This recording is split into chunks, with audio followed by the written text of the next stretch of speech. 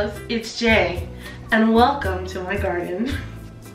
Today we're gonna be doing another episode of Jei Cooks. So let's roll up our sleeves, wash our hands, and get ready to do this. In almost every single Caribbean household you can find this staple dish and it is Sancocho. Sancocho. Sancocho. So when you make this soup, it's time to crank out the big guns. And by that, you're gonna need a big pot. A really big one. The what? The Mama Jumbo. I think I've only used that pot. Once. No, you're wrong. Twice.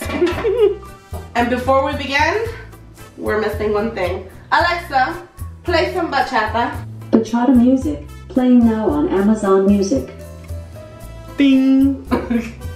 So I'm currently editing my video and uh, YouTube doesn't have any copyright free bachata songs so we're gonna have to switch things up. Alexa, play some salsa.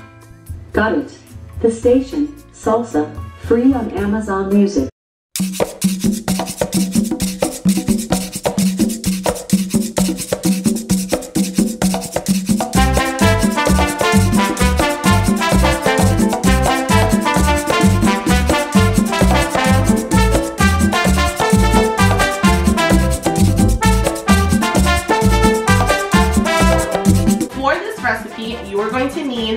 Corn, plantains, potatoes, yuca, pumpkin, carrots, garlic, onions, sopita, cilantro, and of course my marinated beef. So you can totally make your sancocho or your Caribbean beef stew all in one day. But I chose to break it up into two days just because it requires so much work and preparation cutting all of the vegetables. Also the more help you can have the better. So my husband helped me so much, thank you baby, cutting up a ton of these vegetables. Honey, what are you doing? Yeah, that's that. Yo. That's my dog. I gotta give you that one. That's that campesino lifestyle.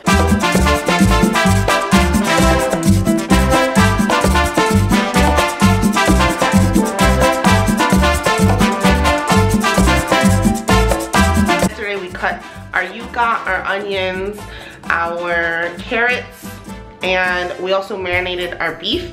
So today I'm going to peel and cut my potatoes and my plantains along with my pumpkin and then I'm going to start the entire cooking process. So I've already finished slicing, chopping up, peeling all of the veggies that are gonna go inside of my soup. All right, so we're gonna start off by making our beef stock and cooking our beef. So I already coated my pan with olive oil to add in my onions and garlic. All right, so my onions and my garlic are a nice golden color and I'm gonna go ahead and add in my beef. Okay, now that I've added in my beef, I'm just gonna stir that in with my sauteed onions and garlic. And I'm going to wait until all of my beef is cooked. Woo! It's done! All of our beef is cooked. Yummy, look at that stock. So now I'm gonna go ahead and add in a little bit of cilantro. I'm just gonna mix that in.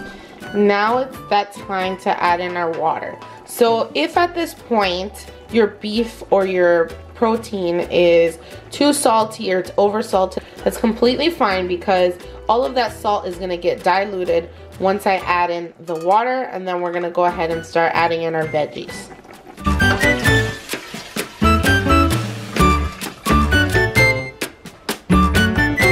Poured in our water, it's a little bit more than halfway on our pot.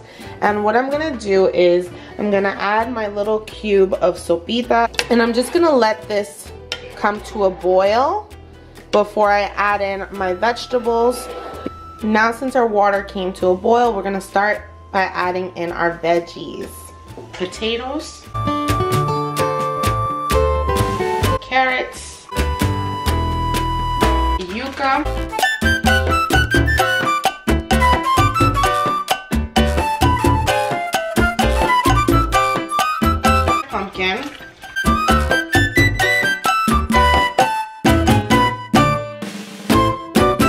that a stir.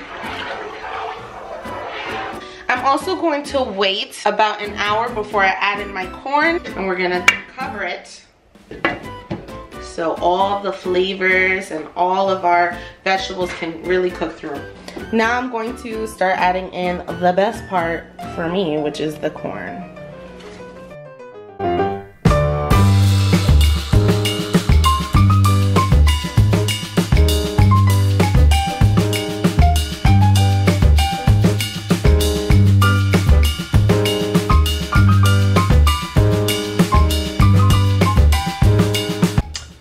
Shout out to my best friends who taught me to wash your dishes while you cook so that once you finish cooking, you don't have to do any work. So everything should be done. You can enjoy your food and your kitchen will be clean. So definitely clean while you cook.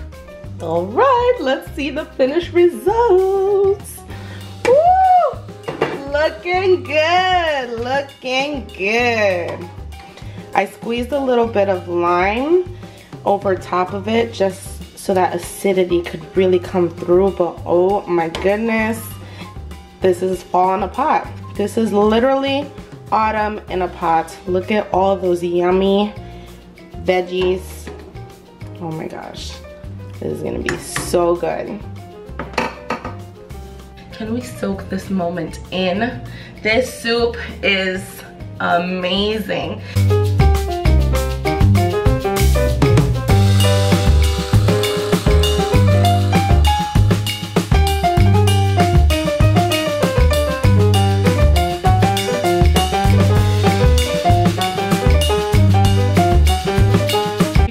Soup required so much work, so much love goes into this.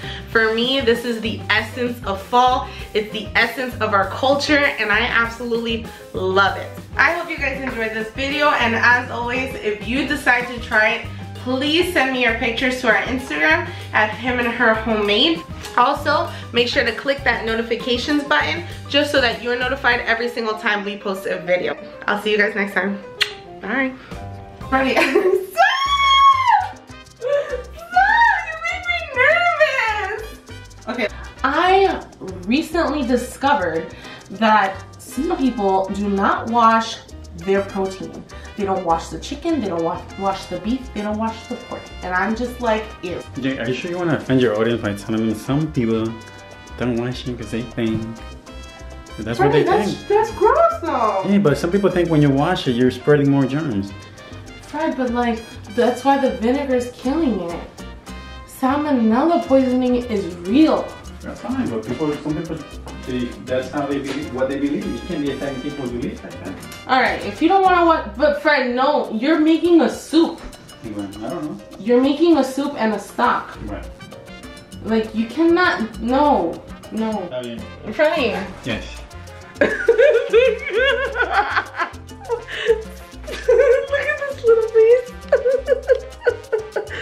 This strap on my head, but I don't think I'm into it. Off to the next recipe.